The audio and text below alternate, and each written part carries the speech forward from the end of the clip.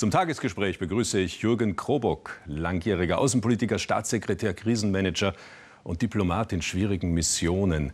Herr Krobock, lassen Sie uns zuerst über die Ukraine sprechen. Russlands Außenminister Lavrov und Bundesaußenminister Steinmeier haben bei einem Telefonat erneut über eine Entspannung im Ukraine-Konflikt beraten und währenddessen flammten in der Ostukraine wieder Kämpfe auf. Was würden Sie den heute amtierenden Politikern raten, wie sie mit dieser Situation umgehen sollen? Oh, das wäre ein bisschen anmaßend. Ich glaube, dass der Außenminister einen sehr guten äh, gute Krisenbewältigung betreibt im Augenblick. Er setzt auf den Dialog, das als Einzige, auf was man setzen kann. Er hat, führt auch den Dialog mit dem russischen Amtskollegen. Der runde Tisch, der eingesetzt worden ist, mag zwar keine großen Erfolge bringen, aber er dient ja auch zu einer Vertrauensbildung. Man kann nur auf Dialog setzen. Militärische Maßnahmen sind völlig unmöglich. Die Frage ist, wie weit Russland überhaupt in Kontrolle ist. Natürlich auch, was die Widerstandskämpfer dort und die Separatisten äh, in der Ostukraine angeht. Aber ich glaube, dieser Weg muss weitergehen, allerdings verbunden auch mit sehr klaren äh, Androhungen, letzten Endes Funktionen, wenn Russland in irgendeiner Weise gerade auch die Wahlen boykottieren sollte.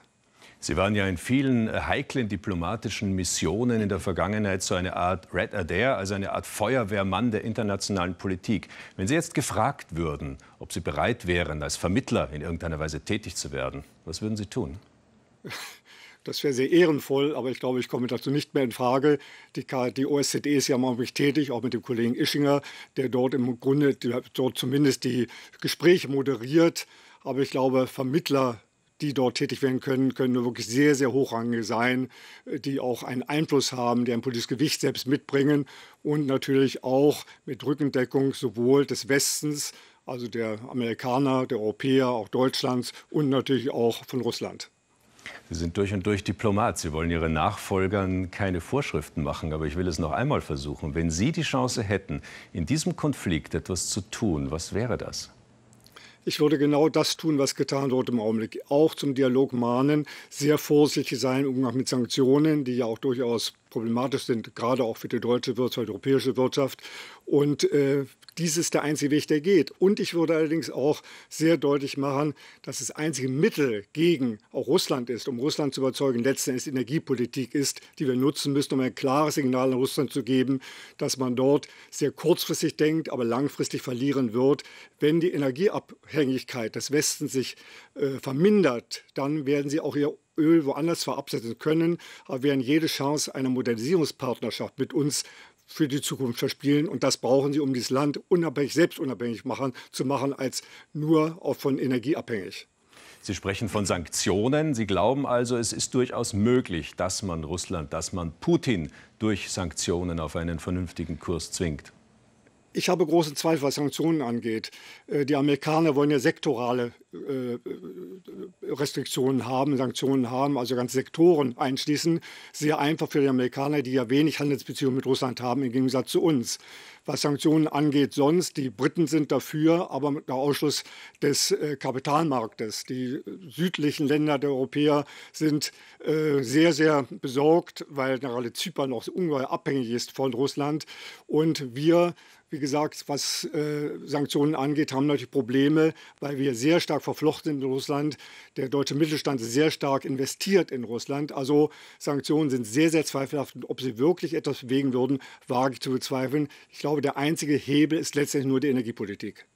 Ich würde gerne noch über einen zweiten Brennpunkt der Weltpolitik mit Ihnen sprechen, über Nigeria, vor allem über die dort entführten Schülerinnen.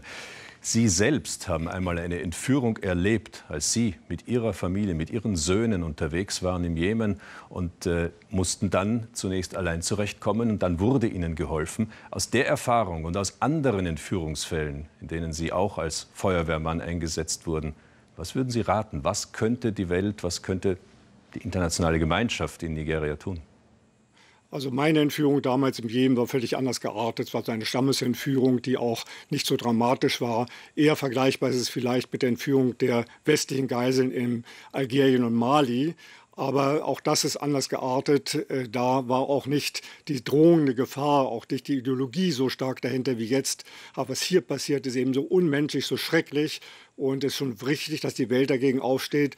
Es ist auch richtig, dass man versucht, die äh, Mädchen zu finden durch Einsatz von Flugzeugen und aller technischen Mittel. Das bemühen sich auch gerade die Amerikaner drum. Aber äh, man wird sich ausschließen können, solange der Terrorismus dort äh, weiter herrscht und diese Gruppierung, diese, diese Fanatiker nicht endlich unter Kontrolle gebracht werden können. Aber in einem Land, was ja vom Staatszerfall bedroht ist im Augenblick, ist es außerordentlich schwierig. Was glauben Sie, was unterscheidet denn äh, bei Entführungen nun äh, ja, Terroristen von, ich sag mal, gewöhnlichen Verbrechern? Äh, wie anders muss man da reagieren? Wie muss man da anders vorgehen? Wir sind mit gewöhnlichen Verbrechern kann man verhandeln. Da geht es dann meistens um Geld oder konkrete Forderungen. Bei mir selbst damals im Jemen ging es um die Freilassung von Gefangenen durch die Regierung. Im Jemen ging es auch um Lösegeld und andere Fragen natürlich, aber man konnte verhandeln.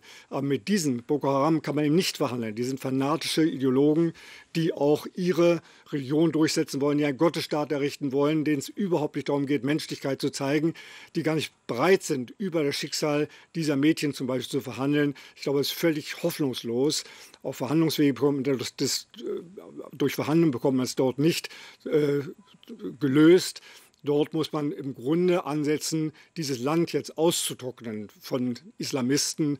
Und das bedarf eines ungeheuren Einsatzes, und zwar eines Einsatzes auch bei wirtschaftlicher Entwicklung, bei der Verbesserung der Lebensbedingungen der Menschen dort und äh, natürlich auch einem sehr starken, massiven Einsatz gegen diese Gruppierungen.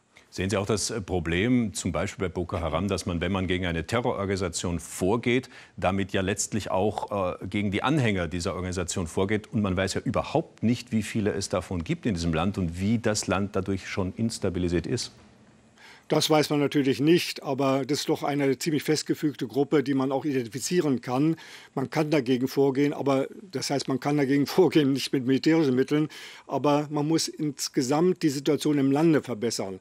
Man muss Arbeitsplätze mal schaffen, man muss Perspektiven schaffen für die Menschen. Das ist als langfristig gedacht, löst sich das Problem jetzt, aber nur so geht es. Man muss es austrocknen, austrocknen diese, diese furchtbaren Gruppierungen, die dort tätig sind, aber eben durch eine Verbesserung der Lebensbedingungen im Land selbst und natürlich auch durch Einbeziehung der Nachbarstaaten, die auch noch Unterschlupf geben könnten. Also hier versuchen wirklich eine gemeinsame solidarische Handlung in der Region zu erstellen.